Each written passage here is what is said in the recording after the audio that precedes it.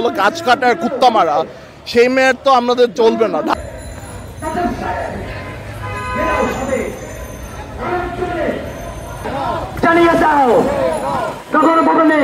দর্শক গাছ কাটার প্রতিবাদে আমরা দেখতে পাচ্ছি ডক্টর জাফরুল্লাহ চৌধুরীর সন্তান। তিনি এসছেন বলে আমরা দেখেছি যে অনেকদিন ধরে আপনারা আসলে এই আন্দোলন চালিয়েছেন। এখনও পর্যন্ত কোনো সুফলতা পেয়েছেন কিনা? কাজ তো থেমে আসছে? তারা যতই প্রিটেন্ড করে যে মেয়েরা আমাদের কোনো কথা শুনতে হবে না, জনপ্রতিনিধি হয়েও কাজ তো থামায় রাখা গেছে। তা এখন আমাদেরকে এটা তো এটা তো সম্ভব না যে আমরা সারা জীবন এভাবে দাঁড়ায় রাখে পাহারা দিব সারা রাত। একটা মেয়ের তো মানুষের কথা শোনার কথা। তো যতদিন না শুনে আমাদের বাধ্য হয়ে করতে হচ্ছে। আজকে আপনারা নগর ভবনের উদ্দেশ্যে কেন রওনা দিচ্ছেন? কারণ সে তো ধানমন্ডি দেখতেছে না। ধানমন্ডিতে থাকে না সে সে ঢাকা সাউথেই তো থাকে না। তা এখন তার অফিসের ওখানেই যে আমাদেরকে বলতে হবে। সে তো আমাদের দিকে তাকাচ্ছে না সে ইচ্ছা করে অন্যদিকে তাকায় থাকলে তো হবে না। সে যদি আপনাদের কথা না শোনে সেক্ষেত্রে আপনাদের পদক্ষেপটা কি হবে?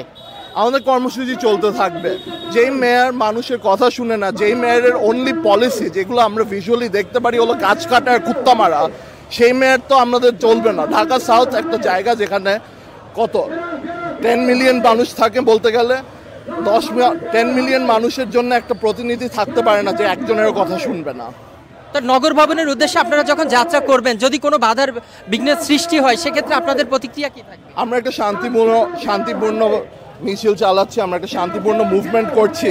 যদি মেয়রের এত থ্রেটেনিং লাগে যে তার পুলিশ মারতে হবে আমাদের দিকে তাহলে ওইটা আপনারই বোঝা উচিত যে তার কেন এই ইনসিকিউরিটিটা হয়। ধন্যবাদ। অর্থাৎ আমরা কথা বলছিলাম ডক্টর জাফরুল্লাহ চৌধুরীর সন্তান। তিনি তার ঠিক গণমানুষের পাশে দাঁড়িয়েছেন তার বাবার মতো। আমরা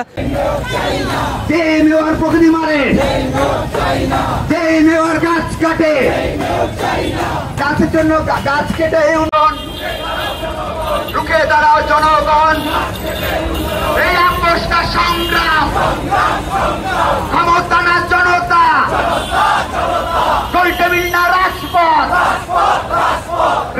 রাজপথের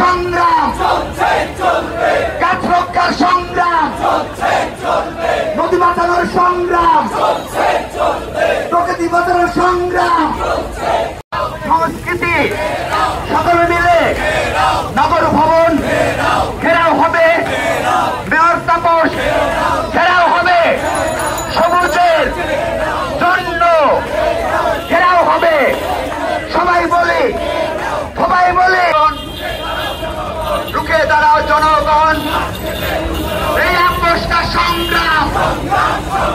ক্ষমতা না জনতা। চলটেবিল না রাজপথ। রাজপথের সংগ্রাম। গাছ রক্ষার সংগ্রাম। নদী বাঁচানোর সংগ্রাম।